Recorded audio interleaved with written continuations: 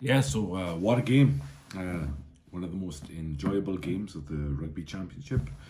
Uh, I think it was amazing. Um, I gotta be honest, I've kind of enjoyed New Zealand going through the ringer uh, finally in their 100, and, 100 plus year history. But uh, I really feel like uh, the, today was a turning point. They actually got their mojo back. Uh, I think South Africa was a false dawn, Eden Park. Um, they they they played well, but it, it really like smacked of desperation rather than like a considered game plan. And today, I think uh, all of the players have been under fire, really performed really well, and it was kind of one of those things. Uh, it kind of goes beyond like normal explanation. Like uh, everything came together. Like uh, Sam Cane put in a massive, massive performance, and you could see his face after the match. He knew it. You know what I mean? He knew that that was it. This is the defining moment of his career, and perhaps this All Blacks team, especially leading up uh, into the World Cup in uh, next year in France, and uh, yeah, they've New Zealand have got their mojo back. That is it. So uh, the rest of world rugby are on notice as far as I'm concerned.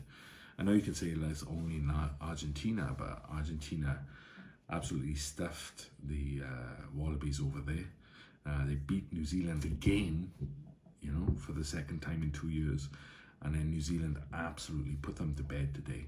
And it wasn't just the points, it was the manner in which they did it it, the quality of the performance, the variation, the passion, and all of those players who were under fire actually played well, like Havili, uh, Cane, obviously.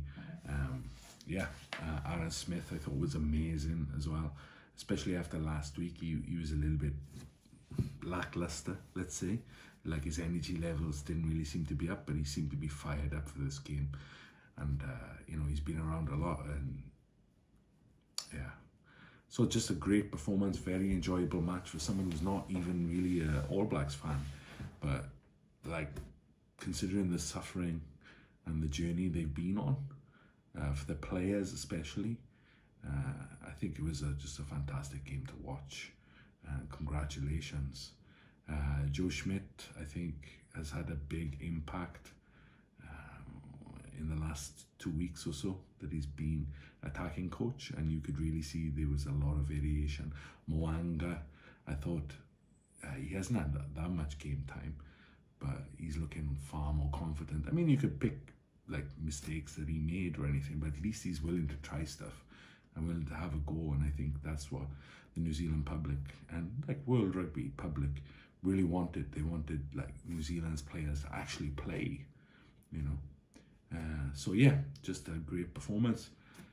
Uh, congratulations to New Zealand and the Kiwi fans. And uh, here's to the rest of the Rugby Championship and the tests in Northern Hemisphere and the World Cup. Let's enjoy ourselves. Uh, some great rugby to be played yet. Yeah. All right. Peace.